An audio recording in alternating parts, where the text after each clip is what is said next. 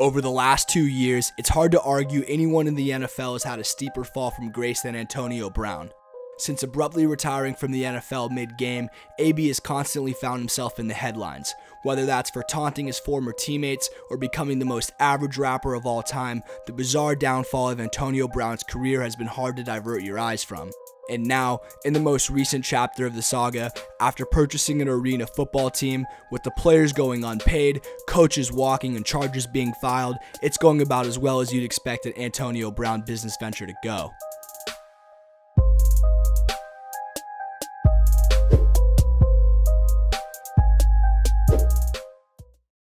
On March 2nd, 2023, the Albany Empire held a press conference with Antonio Brown announcing that he had just purchased the team. And not only that, but additionally, his father, Eddie Brown, would join the franchise as the VP of football operations. To understand why that's significant, we have to go back almost 30 years prior to 1994.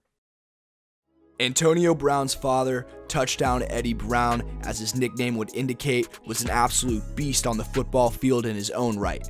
After playing college football at Louisiana Tech University, Eddie Brown went on to play 10 seasons in the Arena Football League with the Albany Firebirds. Now, touchdown Eddie Brown, he wasn't just any ordinary Arena Football League player. In Brown's rookie season, he would win the MVP of the league, and in 1999, he would lead his team to an Arena Bowl victory, and afterwards, he'd be crowned MVP of the game. Once, he scored 9 touchdowns in a game, and afterwards, he celebrated by smoking his first cigar. My kids looked at me like I was crazy when I lit up, said Brown. I told them, when you score 9 touchdowns, it's okay to smoke. Eddie Brown was so pivotal to the Arena Football League that in January of 2006, as the AFL celebrated its 20 year anniversary, Brown was voted the best player in league history, winning the award over guys who would eventually make the switch to the NFL, like Kurt Warner and Jay Gruden. Now, I know what you guys are probably thinking. Antonio Brown doesn't sound like he's fit to manage a Dairy Queen, let alone a professional sports franchise but maybe with the help of his dad and some other business partners, this thing could work itself out. I mean, what's the worst that can happen? Get off the field right now. Uh, you gotta get off the field right now. We ain't going nowhere. You gotta go get some bigger muscle. Right now. We're going nowhere. You going off the field right now. Do it. Going off the field right now. Let's Do go. it. Let's go.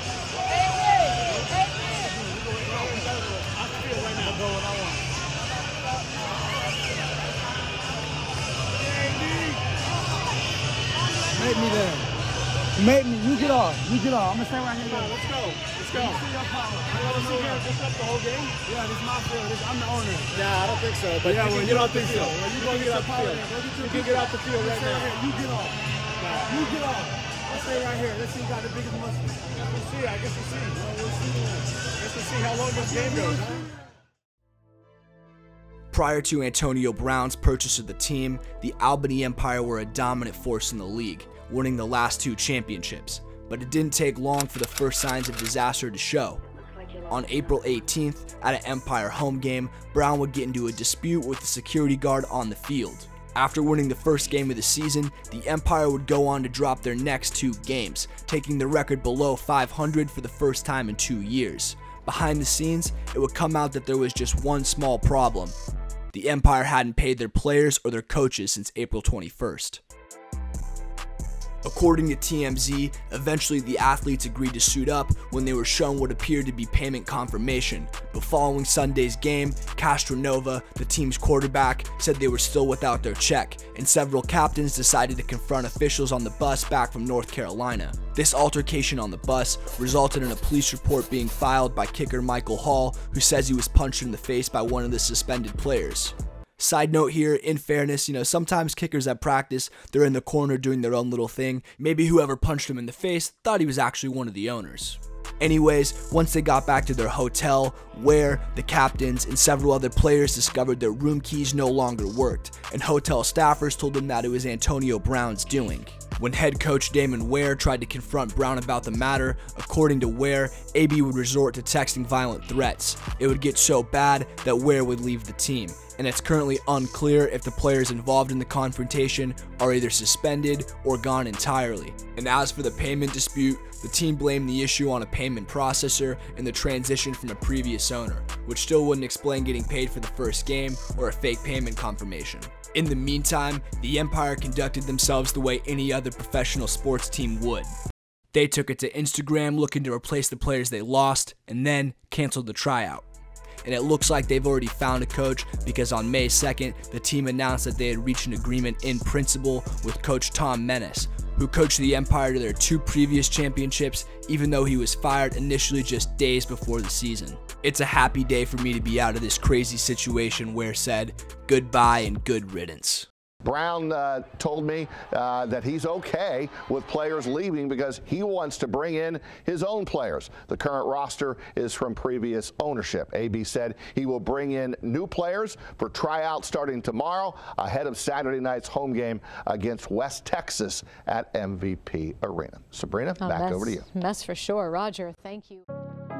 So what's next for the Albany Empire? Well, the Times Union, the newspaper that originally broke the story, has continued to release updates, the most recent being a story that questions how much of the team Brown actually owns. According to the article, Brown's representatives insist that at least technically speaking, he doesn't actually own any percentage of the team.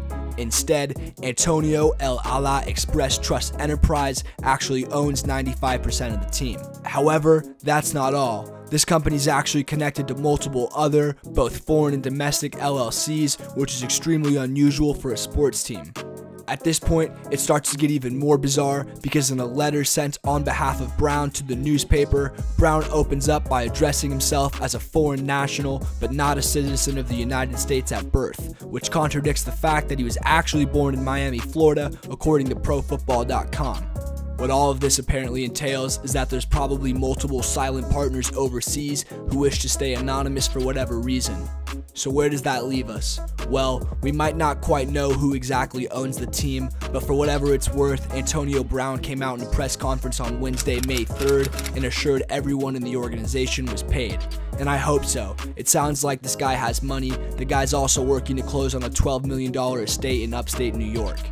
That might be a start in the right direction, but let's be honest, my confidence level in Antonio Brown is pretty low. This is the same guy that a week ago tweeted out he's going to end his career with the Baltimore Ravens, which turned out to be news to the Baltimore Ravens. But anyways, let me know what you guys are thinking about this Antonio Brown situation. If you liked the video, please leave a like and subscribe to the channel. I'll see you guys next time. Peace.